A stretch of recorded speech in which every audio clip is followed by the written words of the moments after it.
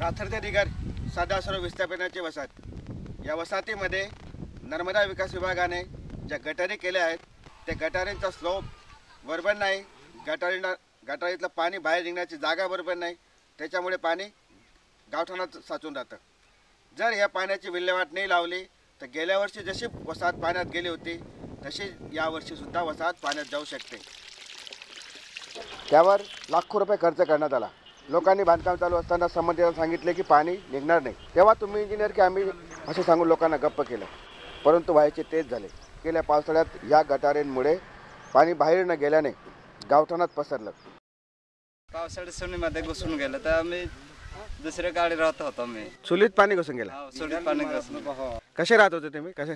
खाटलं होतं त्या खाटलावर बसून बसून असं रात काढले होते. ते इथे खोदले तेव्हा पाणी निघलं तेव्हा मी इथे साफ केलं होतं. आपण इथं पाईप टाकला मोठा. मोठा तिथं पासच व्हायचं नाही. मग रोड तोडा रोड तोडून आम्हाला तो पाणी काढावं लागायचं. पाणी तिथं आम्ही काढलं पण ते शेतमाला आम्हाला परत अं, पाणी जाऊ देत नाही. शेताचं नुकसान होईल म्हणून आम्हाला ते काम बी बंद करावं लागलं अजून. जेव्हा पा पाणी गावठाणामध्ये घुसलं तेव्हा अ, श- शासनाचे कोणीच अधिकारी आले नाही बघायला? शासनाचे अधिकारी आले पाहून जायचे पाय- तर पाहून जायचं पण कोणतंच काम अं, केलं नाही त्यांनी. तक्रार केली होती? तक्रार केली होती वारंवार तक्रार बी दिली सांगितलं साहेबांना दाखव दाखवलं. शासनाने त्याची काही भरपाई दिली होती का? काय नाही काय भरपाई नाही. पावसाळा संपल्यानंतरही नर्मदा विकास विभागाने सदर समस्यांचे निराकरण केले नाही.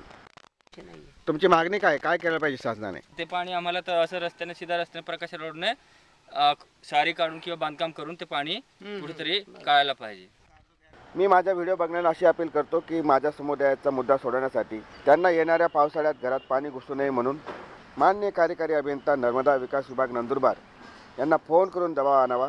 त्यांचा फोन नंबर आहे झिरो पंचवीस चौसष्ट बावीस बावीस एक्क्याण्णव. मी चेतन साळवे आणि हा माझा समुदाय. काथर्दे निघार सदासर सध्या सर्व विस्थापितांची वसाहत नंदुरबार जिल्हा महाराष्ट्रातून इंडिया नटसाठी.